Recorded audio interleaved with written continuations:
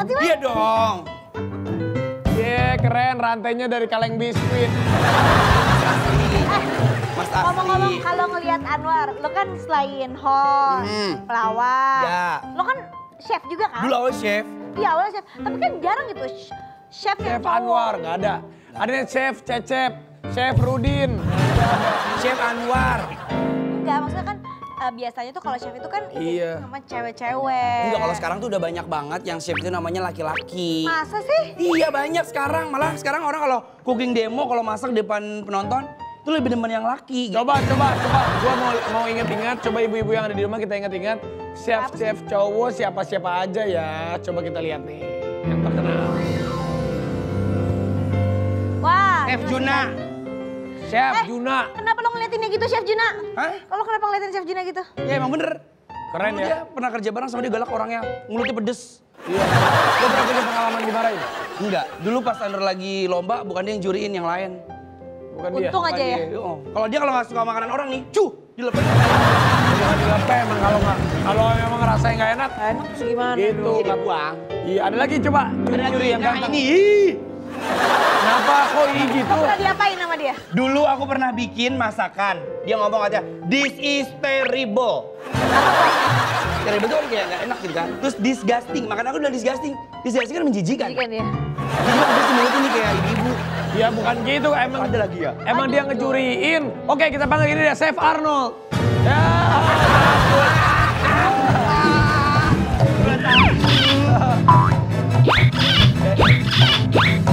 Nih, ada lagi nih. Adrian Iskak. Tuh. Nah ini tuh kalau ini terkenal dengan teknik memasak molekular gastronomi. Bener, ini dia best banget dia pelopor yang menciptakan makanan-makanan dengan teknologi yang canggih. Lo udah pernah ketemu dia? Udah, Galak gak? dia biasa aja, dia lebih friendly dan welcome. Oke. Oh, ada lagi nih. Edwin Lau. Nah, ini Edwin Lau. chef terkenal dengan uh, masakan-masakan yang healthy food. Masakan-masakan untuk orang diet gimana caranya masak enak tapi untuk orang yang sehat gitu. Sehat. oh, masakan yang sehat. Sehat. Tapi ngomong-ngomong chef laki-laki dari semua ini sebelum lo itu ada, Ada seseorang pelopornya. yang pelopornya. Ada pelopornya. Ada dong. Siap? Ada dari kecil ak- aku sama Mama Ami udah nontonin dia terus. Siapa Dan dia tuh legenda chef di Indonesia. Dari dulu, Dia mah senior sebelum ada Chef Juna, sebelum ada Chef Arnold, sebelum ada lu. Bu Siska. Dia sudah malah Cek melintang. cowok. Lu Denger gak? Cowok, cowok, cowok itu bapak. Pada pemarah dia kenapa sih pada kayak kenceng banget gitu. Dan kita akan balikan. Ini dia Mas Rudi. Hai Rudi.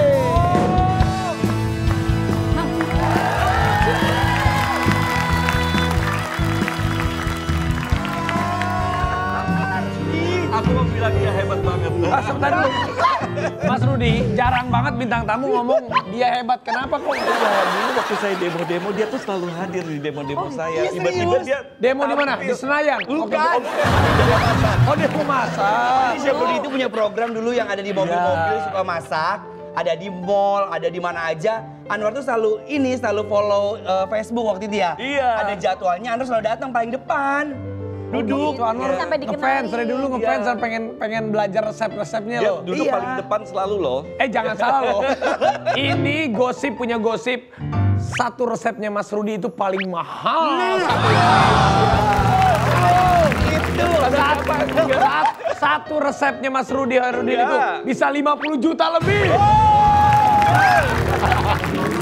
Jangan takut semuanya. Jangan takut semua. Yang kalau misalkan itu berkaitan dengan masakan Indonesia dan kita memajukan masakan Indonesia, apa aja saya kerjakan gitu. Tapi kalau saya dibawa ke untuk masakan lain gitu saya eh, sedikit berpikir karena apa? Image-nya memang dari awal saya eh, maju ke eh, apa ya istilahnya sebagai ini chef ya seperti ini. Eh, itu saya tujuan saya ke untuk masakan Indonesia. Masakan. Ya, ya, ya, terima kasih. Mas Rudi itu main sini lagi. Iya seneng loh Mas Rudi ketemu lagi. Iya, sumpah ketemu. Mas Rudi ini ibaratnya masakan Rudi Hairudin itu adalah resep Nusantara. Betul. Iya kan. Jadi udah berapa resep sih yang Mas Rudi bikin udah udah ngejual berapa resep, udah bikin berapa resep pasti banyak banget ya Mas ya. Kalau dilihat resepnya saya nggak ber- begitu ingat, tapi kalau mau mau dihitung episodenya bisa sih. Saya kan pas 30 tahun di TV nonstop ber- 30 tahun di 30 TV tahun. Wow. Masih chef pertama ya. Dari tanggal eh, 22 Juni 1990. 90. Masih decoder waktu itu saya sudah tampil dan jumlah resepnya berapa ya kalau dihitung satu misalkan satu minggu ya satu kali tampil ada tapi beberapa yang ada lima tahun yang dua kali tampil dan sekarang ini sudah tiga atau empat tahun udah dua kali tampil setiap minggu. Mungkin sudah ribuan resep kali. Betul. Wow, ribuan resep. Nanya, emang suka masak tuh dari umur berapa Iya. gitu? Saya dari kecil, saya itu gini, saya pandai memasak karena lingkungan keluarga ayah saya itu pandai masak, masak semua termasuk ayah saya. Nah ayah saya itu jenis masakannya tuh yang memodifikasi masakan karena dia sudah dari kecil juga sudah pandai memasak karena orang tuanya itu sudah eh, memberikan pelajaran kepada dia. Anak laki-laki itu kebanyakan merantau nantinya, jadi dia harus dibekali dia pandai memasak. Nah di keluarga ibu saya, ibu saya kebetulan yang pandai memasak. Jadi dari saya lahir kecil ngek gitu ngeliat semua orang pada banyak berbisnis di bidang Masak. masakan di keluarga saya itu. Dan saya Belajar dari ibu katanya. belajar. dari ibu, dari keluarga ayah saya juga. Terus kemudian saya waktu itu ada di SD, ada pramuka ya. Apa yang paling rendah tuh siaga apa penghalang ya? Siaga. Siaga, Siaga baru penggalang. Nah itu waktu kelas 3 SD itu ada Iya sih agak. eh, eh, perlombaan masak se-Jawa Timur ya. Waktu itu saya tinggal di Surabaya kan. Siapa yang mau ikut kata guru? Ah saya saya mau, saya berasa bisa masak karena kakak saya tuh suka nitipin uang nanti pulang sekolah kita masak nasi goreng ya, masak ini ya gitu ya. Oh, mau mau mau, mau. saya ikut. Menang loh Raffi juara satu. Dapat hadiah nggak waktu inget gak? Da- ya dapat hadiah senang-senang aja. Pertama kali masak belajar resep apa? Inget gak? Saya itu dari kecil ya kalau makan agak sedikit susah, tapi ada makanan favorit-favorit saya seperti ikan, ikan yang digoreng, kemudian telur ceplok kayak gitu-gitu, nasi goreng. Itu ya waktu masih kecil-kecil tuh kalau ada ada itu aja gitu saya ada sedikit eh, rangsangan untuk mau makan. Terus ditambah lagi eh, sambil melihat binatang gitu ya. Itu oh, Oh, biar lihat Anwar, Bang. Biar lihat Anwar. Lah Anwar juga seneng maksudnya lihat Enggak tadi enggak. binatang. Chef pas lagi ngomong juga pas ke binatang sih. Iya, enggak maksudnya sama Anwar ditemenin. Iya, iya. Tapi kalau pertama kali masak resep apa? Pertama Pertama, kali. ya itu saya karena saya saya itu penasaran ini nasi goreng gimana bikinnya sih gitu ya. Nah itu saya itu kalau kecil itu kalau buat orang Jawa apalagi di di sana ya kalau saya tuh kalau ada makanan selalu saya cium dulu itu buat orang Jawa itu agak sedikit tabu kan bisa aja dia oh, ini, ini kayaknya basi nih. Iya. Nah tapi saya itu dengan ada mencium itu saya oh ini nih gurih ini ada aroma ini apa bumbunya ini ini ketahuan. Jadi pertama saya eh, memasak yang memasak ya kalau nyeplok kan menggoreng ya. Nah itu adalah nasi goreng dan saya kalau masak waktu itu tunggu lihat kanan kiri nggak ada orang. Saya naik ke kitchen setnya saya nyalain saya jongkok di situ. Karena kan nggak badannya nggak nyampe ya. Nah, memang ini hebat loh Mas Rudi Hairudin itu salah satu legenda masaknya Indonesia. Terima Koki kasih. atau chef masaknya Indonesia Rudi Hairudin. Terima kasih. Nah, aku punya pertanyaan lagi nih.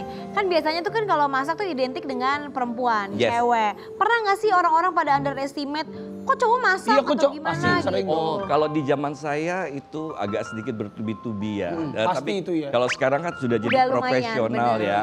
Ya, saya waktu itu sebetulnya bukan cita-cita juga sih. Itu bukan cita-cita apa, kesenangan aja. Jadi Hobi. saya itu Cita-cita cita-cita jadi apa dulu Mas jadi dokter. Oh jadi dong. Dari dari SD lulus SD ditanya mau jadi apa dokter. Lulus kayak SMP dokter, lulus SMA dokter. Tapi begitu Kuliah? Eh, kuliah saya ambil kedokteran kan waktu itu masih Sepen Maru zaman saya kan. Kedokteran dulu. ambil kedokteran, pilihan keduanya apa ya? Saya bilang itu pertanian aja deh. Yang lulus malah pertanian. Ada apa saya masaknya aja nih yang saya kembangin gitu pada saat itu. Iya. Sama kayak Raffi juga pengen jadi dokter ya sayang? Ya gitu dokter ya. Perkandungan aku tadinya. Pernah gak sih dulu, zaman dulu kan memang chef kan sedikit ya yang cowok. Betul. Pernah gak sih dibully gitu di, ah di, Iya. apain kamu masak, kayak perempuan kamu nggak harusnya tuh Ya, laki-laki itu- jangan di dapur, itu ya, kan pasti itu kan eh, karena itu juga salah satunya. Jadi kita, kita ingin membuktikan bahwa ini adalah profesi gitu. Ah. Bukan kita suka memasak karena kita apa gitu ya. Karena ini adalah bisa menjadi suatu profesi kalau kita tekunin banget. Nah, karena bulian-bulian itu sebetulnya acuan juga. Saya ingin menunjukkan nih loh kalau kalau kamu pernah membuli saya, ini ini bisa menjadi profesi yang baik gitu loh. Bisa Jangan salah. menghidupkan banyak orang. Chef chef juga. itu bisa jadi kaya raya satu resep 50 juta.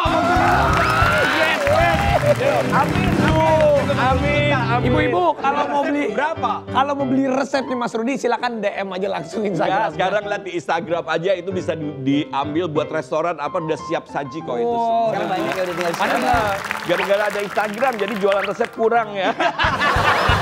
Dikira berarti bener ah. Pada masanya waktu kan chef nggak banyak. Iya. Uh, Mas Rudi Haryono Iya, dulu cuma beberapa doang. Termahal di Indonesia. Semua nomor Chef satu. Arnold, Chef Juna belum belum ada Belum lahir apa-apanya. dulu, belum ada. Karena ini pelopor. Semuanya chef. pengen dimasakin, mau pejabat, mau orang-orang top pengen dimasakin sama Mas Rudi Harudi. enak lagi masakannya. Enak emang lu. Coba ya. Dulu kan sering banget ih, dulu Iya. ya aku tuh di depan ya gini. Eh. Eh, kalau di mall nih ya. Dia paling depan Paling depan, Dia paling semuanya depan. ibu-ibu, aku dari rumah tuh ternyata ada mental jadi penonton juga ya.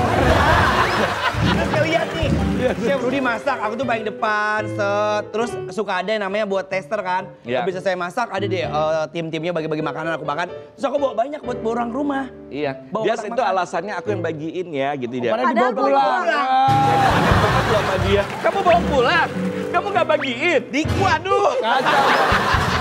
Aduh, tapi memang yang namanya seorang Rudi Hairudin itu tidak akan pernah lepas dan tidak akan pernah kita lupakan Amin. dari dunia masak. Nah, di sini kita akan bahas keahliannya Mas Rudi selain masak. Mas Rudi bisa apa lagi sih? Set. Set. Apakah Mas Rudi bisa akrobat? Dan ke mana-mana tetap di Oke Bos? Siap Bos!